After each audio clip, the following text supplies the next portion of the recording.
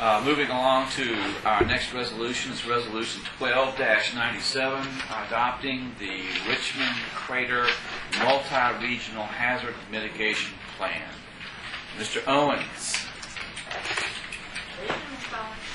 Madam Chairman, board members, staff. Uh, Resolution 1297 is the board's, uh, the Disaster Mitigation Act of 2000 as requires that the Board of Supervisors adopt a regional plan.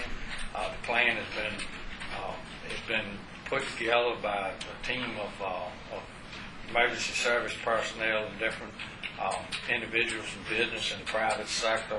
It's uh, made it all the way through the gauntlet, uh, up FEMA, FEMA signed off on it, so that in order to adopt it formally, I'm asking that the board uh, consider resolution, approving resolution on twelve S ninety-seven. Madam Chair, I move we approve resolution twelve ninety-seven. Second. Been moved and properly seconded. Is there any discussion on the resolution? If not, all those in favor of that motion, please respond by saying aye. Aye. All opposed, no.